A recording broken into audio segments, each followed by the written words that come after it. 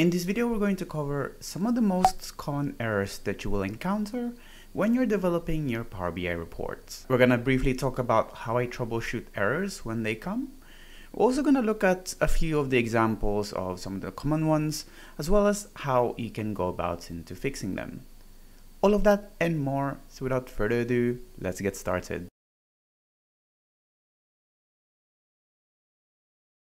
Hi, my name is Fernan and welcome to the Solutions Abroad YouTube channel where we cover tips, tricks, and best practices when working with Power BI. I upload new videos every week, so make sure you hit that subscribe button and the bell icon to get notified when a new one is out. So when you're creating Power BI reports, it's not uncommon to encounter some errors. And if you're new to Power BI development, it can be a bit nerve-wracking.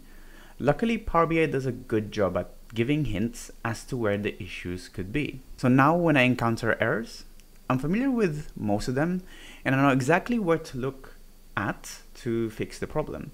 And today I want to show you how my thought process works when troubleshooting these errors. Because there are many components in Power BI that work together when you're developing a report, you first need to figure out where the problem is. And at this point, I chop this up into four parts. Is it a problem with the source itself? Is it a problem with the transformation of your data in Power Query? Is it a calculation in DAX?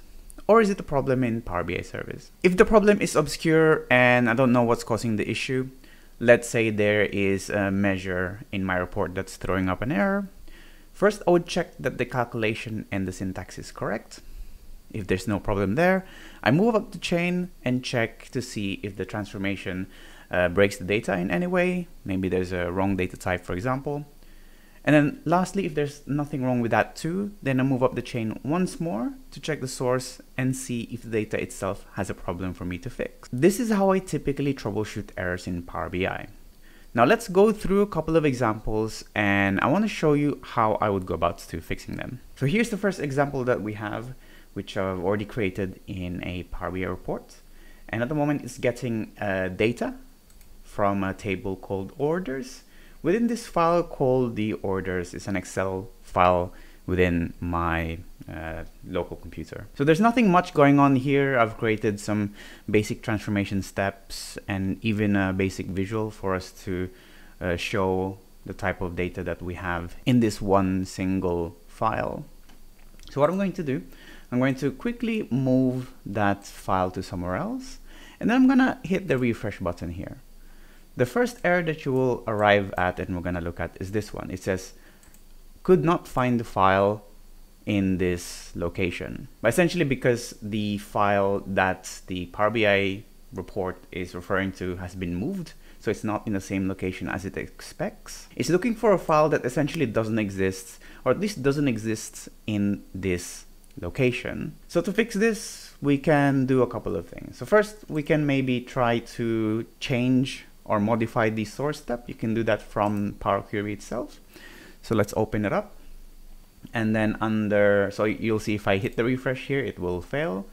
You will have an option here to go to error. So it will just simply jump to the step where it thinks the problem exists. So at the moment we know, and it jumps us to the source step. We hit edit settings here, which will open up the browse to say which file path we need to follow. So we moved it to this folder here. So we're gonna just reference that like this, hit OK, and you will see that that will have fixed the problem. The other way that you could have fixed this is by simply moving the right file to the right path in our file path. Now that we are in Power Query, let's talk about the source itself. So at the moment, the source that we're using at is an Excel file, as you'll know, you can also use other source types like a database or an online service. But the key thing to note is that wherever the data is, the field names or the column headers, even table names must stay the same in order to avoid errors. This is because when you're transforming data in Power BI, uh, when these elements are removed or changed, Power BI won't have any way to reference the data within it.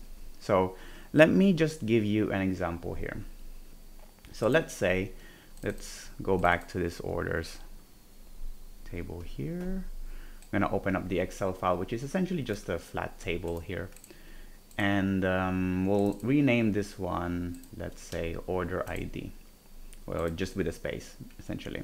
So if I hit save now, and we'll try to do a refresh here on Power Query, you'll see that it will throw up an error. It will say that column order ID of the table wasn't found.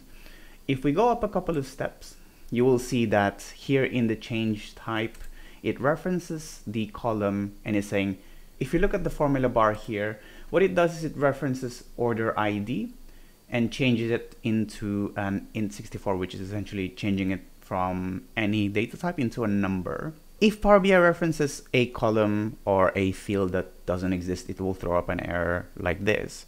So an easy fix for this is uh, to simply make sure that you don't reference the columns or the fields. So at this point, there are a couple of ways that you can try to fix this error. So the first thing is you can simply just remove or, or just make sure that the references that you have in the steps are the same as what you have on the source. So we'll just add a space there and that worked. Or if we just put it back to how it was, you can delete the step altogether that will um, and recreate it so if we highlight everything and then hit transform detect data type. So you will see it will redo everything except it also now knows the new format of that field. So in an excel source perspective it's not just the field headers that you want to be aware of. You also need to make sure that the sheet names don't change. As you notice the file name uh, and even the location of the file itself. Another thing to note as well, from my experience of working with Excel files, is that Power BI doesn't work well with the .xls formats. So this is an old Excel format that was a default format back in Excel 1997, but a lot of online services still have this as an option to export their data on. Mostly though, this has now been replaced by the .xlsx type, which works perfectly with Power BI. So if you're using Excel files as your source, make sure you don't use the old formats uh, with Power BI. So the two errors that we've seen so far are what we call step errors. So these are simply errors where you will need to find the step um, that has the error and fix that step itself. But there's also another error type within Power Query called the cell level error. So let me show you. Let's open up the orders uh, table here. I'm just gonna make some random change here on the order ID, save it, and then we will try to hit the refresh button here. Here we go. So when we hit the refresh button just now, it loads the data successfully, but it tells me that there are a few errors. So if we select the view errors here, it will open up Power Query for us. And Power Query creates an error catching query for us to see where the problem is. So it shows us the error itself, so we know and we can see that the error is in this error or order ID column. And we can see the details and what happened at the bottom here. So it's saying we couldn't convert to number, and the detail is is uh, is basically we put the text on a number type column, which caused an error. This is what we call a cell level error, where the issue is in a cell rather than in a whole step. So there are two ways that you can approach to fix this. So the most obvious fix here is to obviously make the change on your source itself in the orders table. Because we made that manual change, we can simply change that back into an actual order ID, which will fix this problem. The second option that you have here is to simply remove the rows with an error from your uh, table or from your query. So in this case, you will see that you will have an option when you hover over here to remove errors, or you can just simply right click and replace errors or remove errors. So you can replace errors by something else, or you can just remove the errors completely. So whichever option you choose, once you do it, so let's say let's just remove that, that error column or row for now. If we go back to the query here that has been generated, if this shows as empty, that means there are no cell level errors anymore in your query. So you're pretty much ready to just uh, close and apply this, uh, this model. So we'll just simply delete this one because we don't really need it anymore. And you hit close and apply. So that will load up your data into data model without any errors. Now let's move on to another error that you might uh, face, which is pretty common. So this one says um, the table order unique contains a duplicate value is and this is not allowed in the one side of a many to one relationship for the columns that are used for a primary key of a table. So it's a bit long-winded and basically this is to do with relationships that you previously established. So at the moment and off camera, what I've done is I've created a one-to-many relationship here between the orders unique table to the orders table. So the orders table has a list of all the orders, obviously, and each order can have multiple products in them. But I wanted to have a separate table which has a list of all the unique orders. So you would have order 10248, 10249, which is basically a unique list of orders. And we've established that it's a one-to-many relationship. Now this type of error might come up if you've made or if there's a problem with your uh, one part of your relationship, the order unique, for example, in this case, where it might have a duplicate value where it shouldn't be. So because we've established this relationship, that means this list or this primary key that we have here, the order ID, needs to be unique, at least in this table. So there are a couple of ways that you can fix this. So obviously the first uh, and easiest way, uh, well, it's not really a fix, but it will remove the error itself, is by deleting the relationship and then hit uh, apply changes. So you will see that here we, we have the order table, uh, the order unique here, but it's not really unique, the order IDs. It did remove the error, but that's not really what we want. So what you can do, so with, let's go to Power Query. Obviously, the first thing that you can think about is to fix this from the source itself. If you're getting it from uh, a, a table outside of Power BI, or you have the option to make sure that the order ID column is unique. So to do that, we'll simply go and select the, uh, the column from this table, remove rows and remove duplicates. This will make sure that you have a unique list of order ID in this table. If you hit close and apply, it will load and it won't have a problem. And now we can set up the relationship once more and you'll see that it will have a one-to-many relationship without any errors. Now let's move on to calculation issues that you might have when you're working with DAX. And honestly, there's so many variations here, so I'm not gonna cover everything. So what I'm going to do is I'm going to go here uh, to show you on the data, data view and create a new column in our orders table.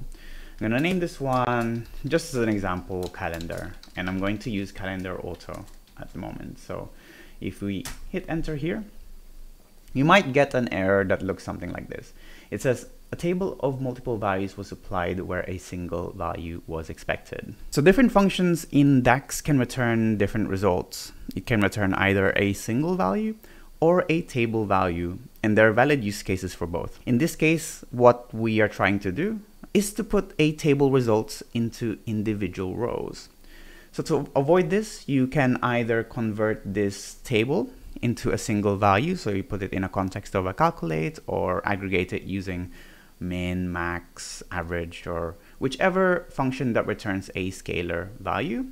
Or you can simply just return it in a table. So here, instead of creating a new column, let's create a new table instead. And let's do the exact same thing. Calendar auto And what you'll see is that it now doesn't return any errors.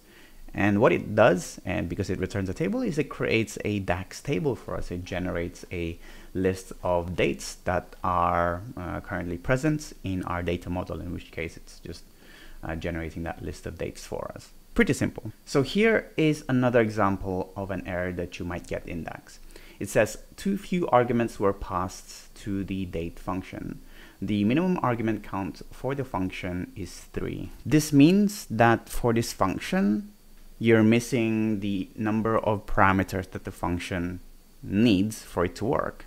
So let's have a look at what it says on the documentation itself. So I can show you like what exactly I'm talking about. So if we jump here into the, um, uh, the, the documentation for the date function, it says that it returns a specific date in a date time format. It says that this is the syntax. So you say date and you give it three specific parameters. You give it the year, the month, and the day, separated by commas, and within this uh, open and closing parentheses. Now, because it's asking for three, that's what it needs to return the date for you. And granted, there are parameters that are optional, but in this case, because we and we need to provide three different values here, if we miss one of them, for example, here I've only specified the year and the month and not the day, that's what's causing the issue. So for us to fix this, we simply need to add another parameter. So we'll just do that and you'll see that will fix the issue. So here's another example here. It says it cannot convert value of type text to a number. And this could be vice versa, uh, depending on your data types.